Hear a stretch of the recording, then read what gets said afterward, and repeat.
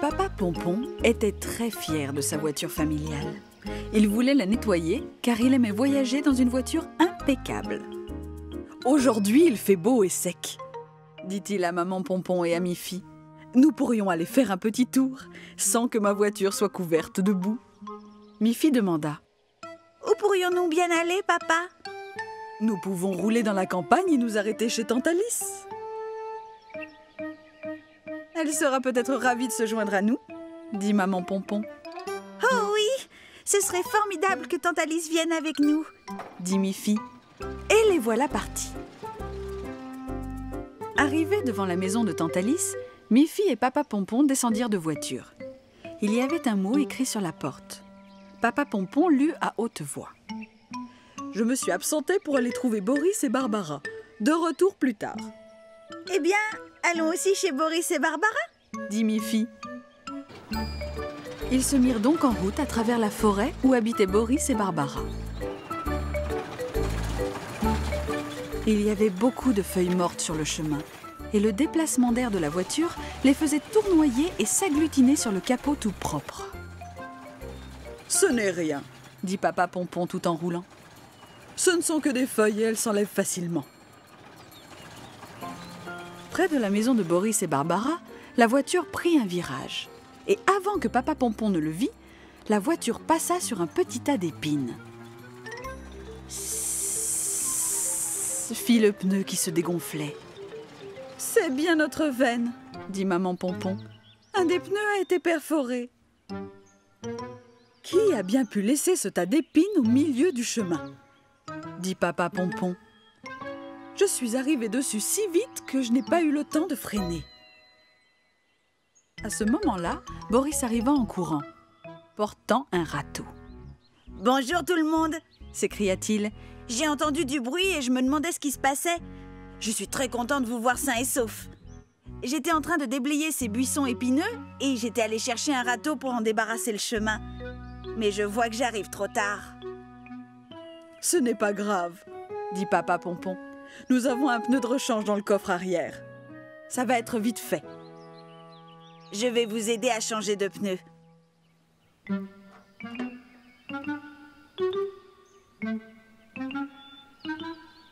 Ce n'était pas si facile que ça. Et en plus, très salissant. Le costume de Papa Pompon était plein de taches.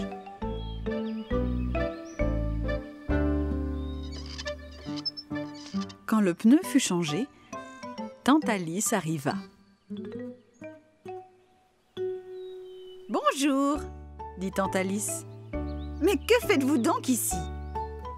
Nous étions venus pour te voir ainsi que Barbara, dit Miffy. Vraiment? dit Tante Alice. Mais je suis sur le chemin du retour. Il y a une longue marche et il va bientôt faire nuit. Nous avons été retardés. Nous avons eu une crevaison. Mais tout est arrangé et nous serions heureux de te ramener chez toi, dit Papa Pompon. Merci beaucoup, dit Tante Alice. C'est très gentil de votre part.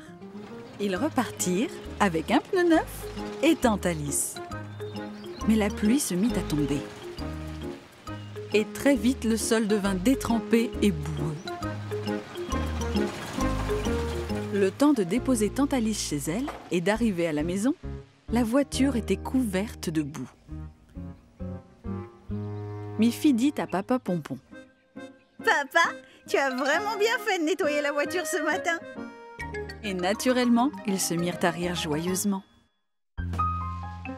En automne, les feuilles commencent à tomber des arbres. Un jour, maman Pompon regarda par la fenêtre et dit Miffy, tu veux bien m'aider à ramasser les feuilles mortes on ne peut pas les laisser sur le sol pendant tout l'hiver. Oh oui, maman dit Miffy. Ce sera un plaisir de ramasser les feuilles. Ainsi, mère et fille Pompon prirent chacune un râteau et commencèrent à ratisser les feuilles. Bientôt, toutes les feuilles râtelées formèrent un grand tas coloré. Tu as très bien travaillé, ma petite Miffy, dit maman Pompon. Rentrons je vais te faire un bon chocolat chaud. Tandis que Miffy et Maman Pompon se trouvaient dans la maison, Snuffy arriva dans le jardin. Elle vit le tas de feuilles et pensa qu'il était là pour qu'elle puisse jouer.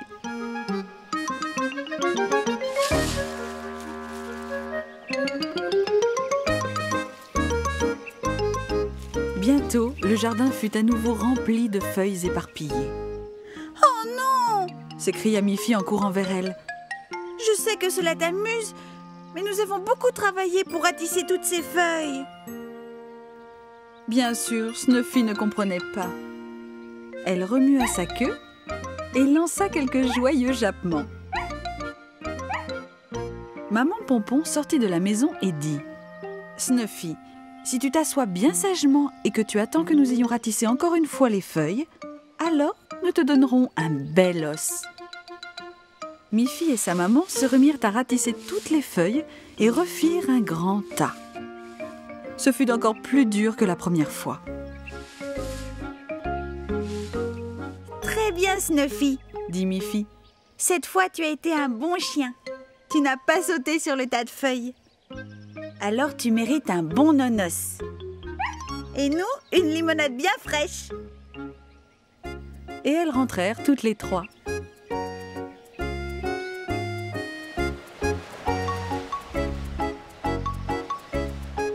Ce jour-là, quelle ne fut pas la surprise de Miffy de voir le jardin à nouveau couvert de feuilles. Oh non, pas encore se dit Miffy. Maintenant, il faut que je ratisse ces feuilles pour la troisième fois. Mais soudain, elle vit que l'ancien tas de feuilles était encore là, dans le coin du jardin. Mais d'où viennent-elles ces feuilles? demanda-t-elle à sa maman. Ces feuilles ne sont pas celles que nous avons ratissées aujourd'hui, dit maman Pompon. Il restait encore beaucoup de feuilles sur les arbres. Mais maintenant, elles sont toutes tombées. Si nous ratissons encore celles-ci, le travail sera terminé. Mais Miffy était trop fatiguée ce jour-là pour ratisser encore les dernières feuilles. Elle alla se coucher et rêva toute la nuit de millions de feuilles voltigeant dans le vent. Le lendemain matin, quand elle se leva, elle fut très surprise de voir qu'il n'y avait plus une seule feuille dans le jardin.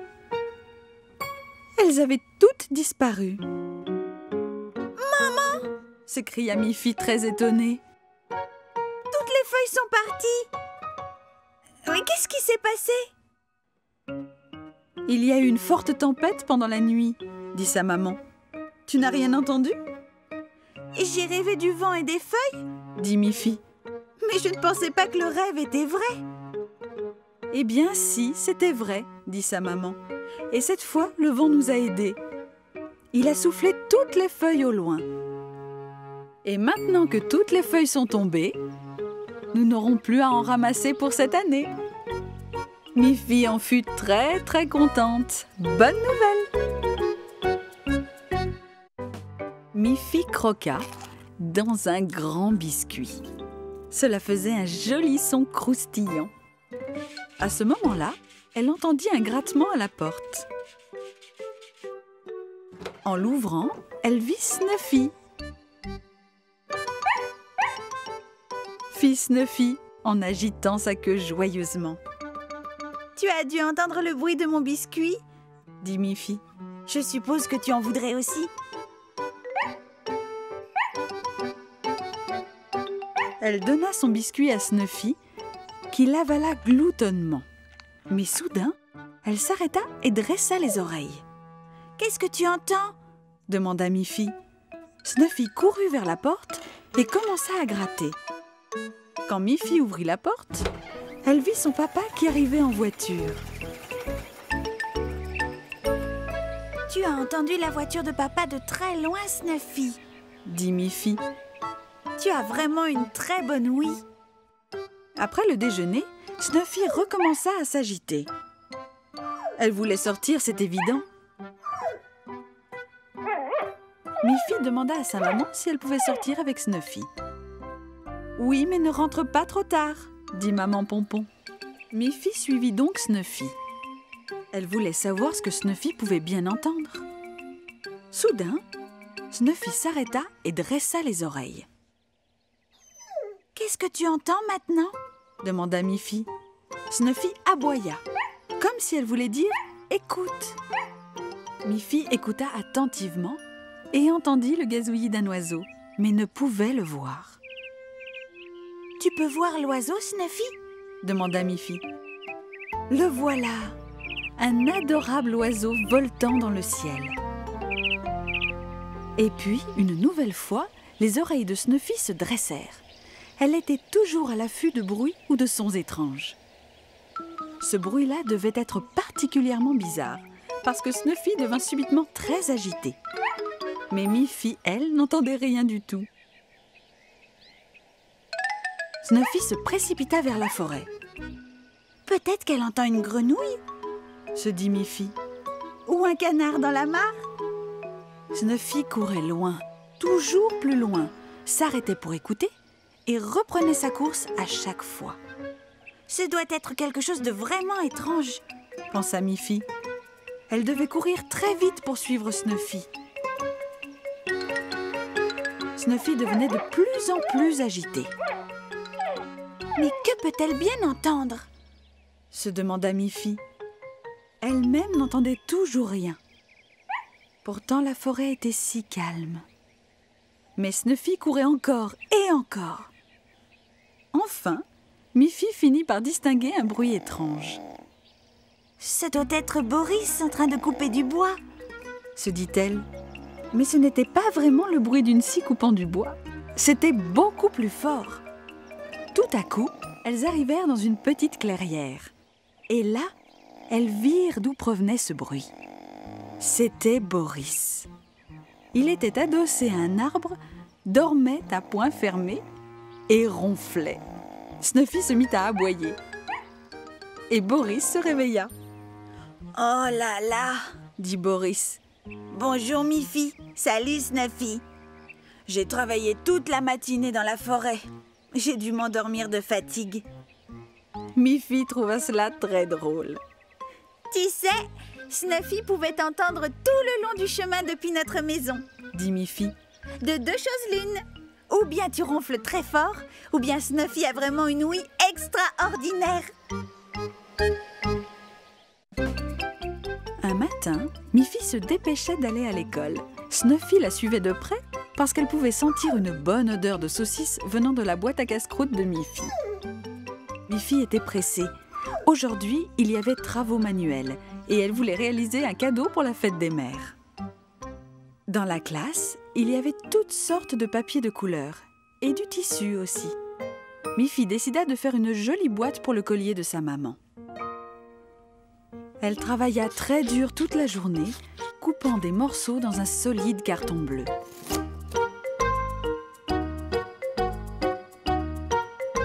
Elle colla et rassembla les pièces pour en faire une magnifique boîte.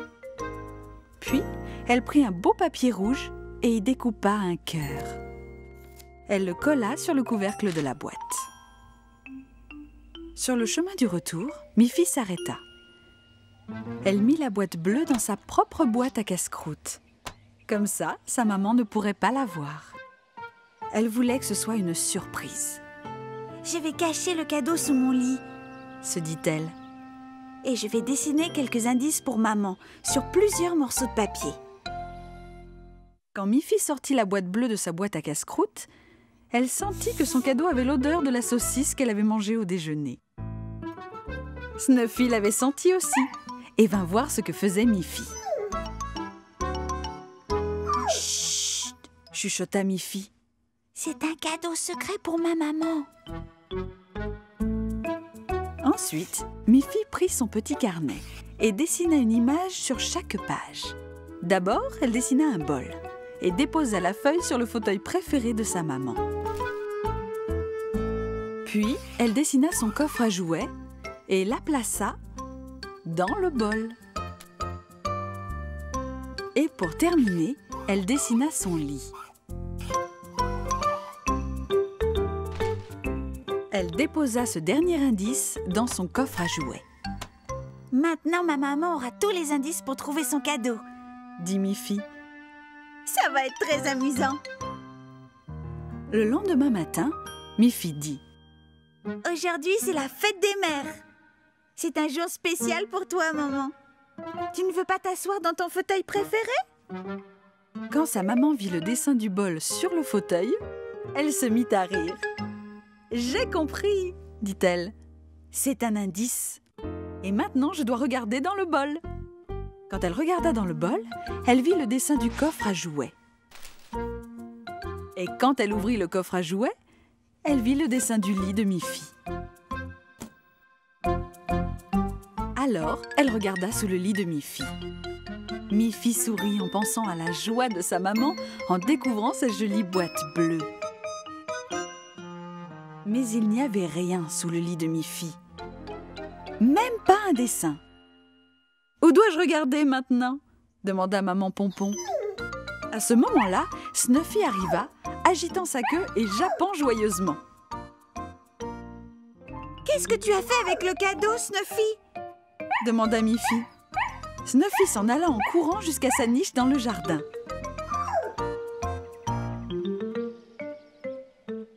Maman Pompon regarda dans la niche. La boîte bleue était bien là. Quel ravissant cadeau, Miffy s'exclama maman Pompon toute heureuse. Tu as eu une très bonne idée, Miffy. Et quelle bonne idée aussi de l'avoir déposé dans la niche de Snuffy. Moi, je n'aurais jamais pensé à le chercher là-dedans. Et elle en rit de bon cœur. Ce fut une fête des mères très réussie.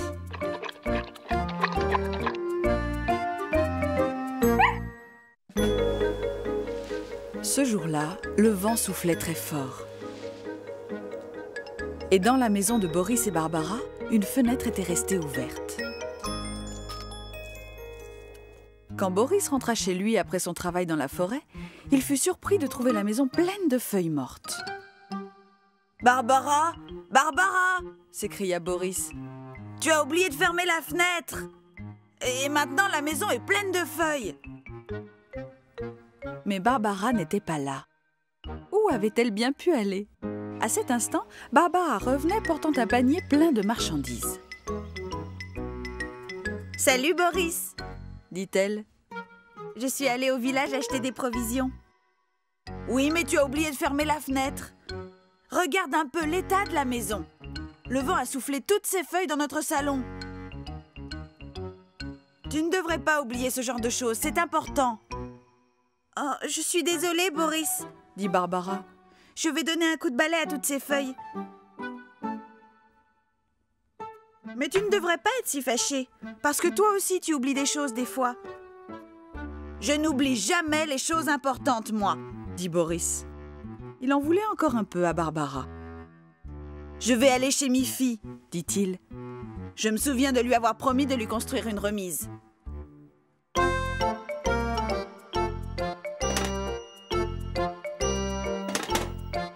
Il alla chercher ses outils, du bois et mit le tout dans sa petite charrette.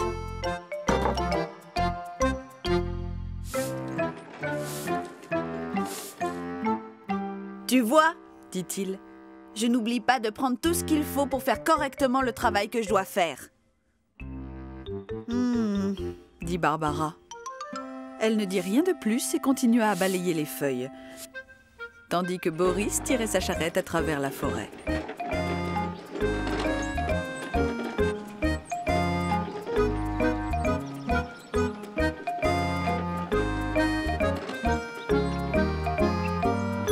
Il arriva chez Miffy, il se mit à construire la petite remise, assez grande tout de même pour abriter la trottinette de Miffy.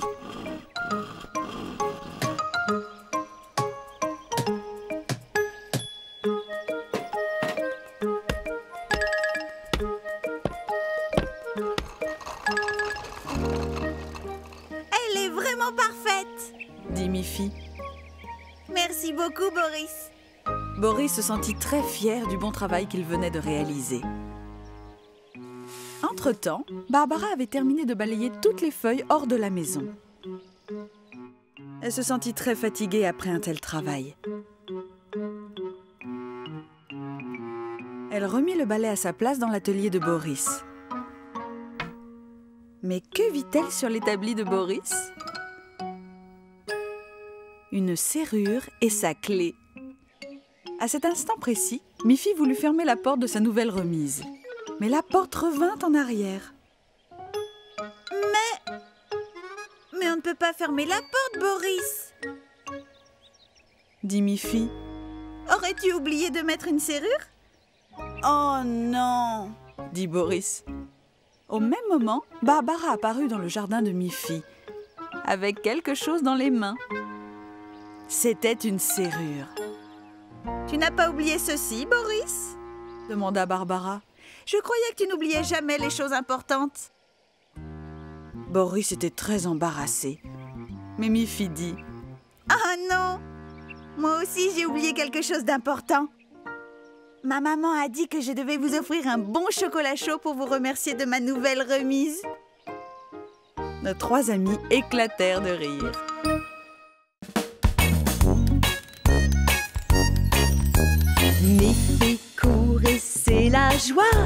Avec ses amis, on ne s'ennuie pas. Snuffy, Agathe, Barbara, Boris, Colette, ils sont tous là et tous ensemble.